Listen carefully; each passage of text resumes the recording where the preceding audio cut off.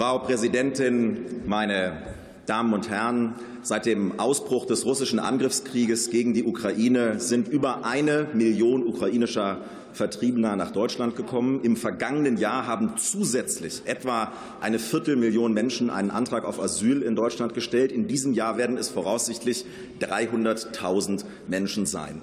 All diese Menschen müssen vernünftig versorgt werden, all diese Menschen müssen untergebracht werden, all diese Menschen durchlaufen ein rechtsstaatliches Verfahren. Und die Hauptlast dieser Situation tragen die Kommunen, tragen die Städte und Gemeinden. Und ich glaube, wir müssen uns auch noch mal klar machen, dass dieser gigantische Akt der europäischen Solidarität gegenüber der Ukraine ohne das Engagement der Kommunen niemals möglich gewesen wäre, liebe Kolleginnen und Kollegen. Jetzt aber sind wir in einer Situation angelangt, in der die Städte und Gemeinden nicht mehr können. Die Zahlen sind zu hoch, die Kommunen ächzen, die Städte und Gemeinden wissen nicht weiter und sie erwarten von uns eine wirksame Begrenzung der irregulären Migration. Und das muss dieser Bundestag, das muss auch diese Bundesregierung leisten, liebe Kolleginnen und Kollegen.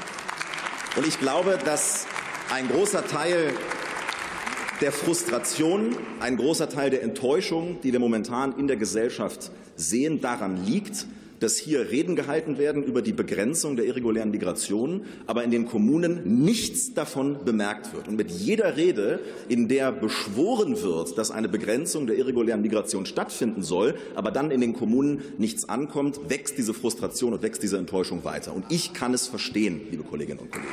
Dazu Dazu gerne einige konkrete Beispiele. Erstes Beispiel. Die Ministerpräsidentenkonferenz hat im Mai beschlossen, im Mai dieses Jahres, dass Georgien und Moldau als sichere Herkunftsstaaten eingestuft werden sollen. Jetzt haben wir September und die Einstufung hat immer noch nicht stattgefunden. Dafür habe ich kein Verständnis, liebe Kolleginnen und Kollegen. Zweites Beispiel.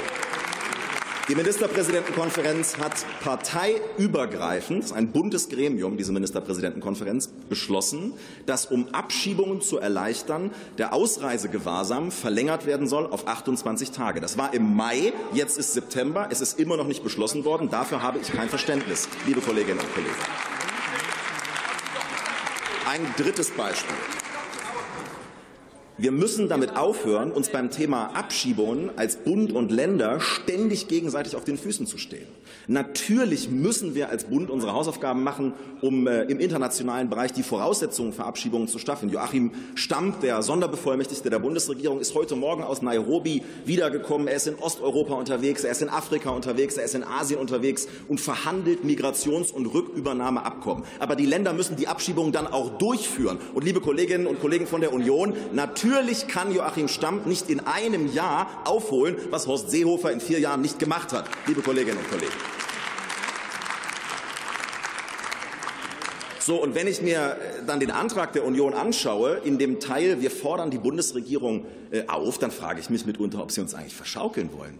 Da steht drin, Sachleistungen sollen durchgeführt werden. Wir halten es als Freie Demokraten für richtig, verstärkt auf Bezahlkarten und auf Sachleistungen zu setzen, weil das die Anreize für irreguläre Migration sinkt. Aber wissen Sie was? Sachleistungen stehen doch längst im Gesetz. Ich habe heute Morgen noch mal nachgezählt. Acht von 16 Innenministern in Deutschland werden von der CDU und der der CSU gestellt. Warum fordern Sie uns denn auf etwas, zu etwas auf, wofür Sie zuständig sind? Machen Sie es doch einfach in den Ländern. Setzen Sie doch auf Sachleistungen, auf Bezahlkarten. Ist doch alles längst beschlossen. Warum geht es denn nicht los? So, und ein letztes Beispiel will ich nennen, das ist das Thema Europa. Wir haben im nächsten Jahr Europawahl. Und ich finde, dass die Möglichkeit der Innenministerinnen und Innenminister auf europäischer Ebene, eine gemeinsame Haltung in der Asyl- und Flüchtlingspolitik zu finden, ein großer Schritt in die richtige Richtung war. Das ist eine wichtige Leistung, und ich bedanke mich dafür, dass das möglich gewesen ist. Allerdings ist es so, dass diese Verhandlungen momentan stocken. Und wir dürfen es nicht riskieren, dass Deutschland der Bremser bei der Neufassung eines gemeinsamen europäischen Asylsystems ist. Wir müssen das vor der Europawahl zum Abschluss bringen. Wir müssen das beschließen und wir müssen dazu beitragen, dass es in der Europäischen Union, dass es auf diesem Kontinent eine gemeinsame Asylpolitik gibt, damit wir die Binnengrenzen offen halten können und gemeinsam die Außengrenzen schützen. Liebe Kolleginnen und Kollegen, der Bundeskanzler Der Bundeskanzler hat vorgeschlagen, einen Deutschlandpakt in Sachen Migration.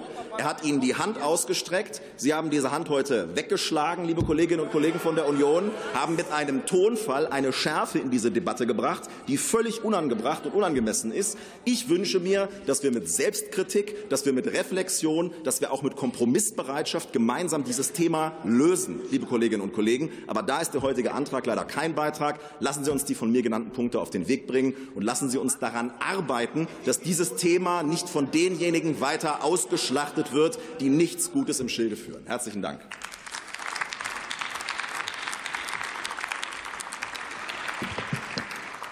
Liebe Kolleginnen und Kollegen, guten Morgen. Ich grüße Sie alle herzlich. Wir fahren fort. Für die CDU-CSU-Fraktion erhält Thorsten Frei das Wort.